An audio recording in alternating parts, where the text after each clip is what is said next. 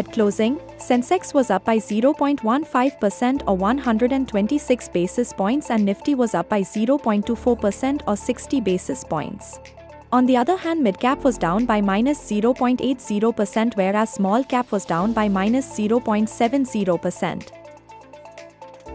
Adani Energy Solutions Limited was the top BSE gainer today followed by Oil India Limited, Power Grid Corporation of India Limited, Coal India Limited and Adani Green Energy Limited. On the flip side, ACC Limited saw the highest decline followed by General Insurance Corporation of India, IDBI Bank Limited, Dixon Technologies India Limited and Gujarat Gas Limited. Advances in BSE index today was 1577, whereas there were 2383 declines and 88 unchanged.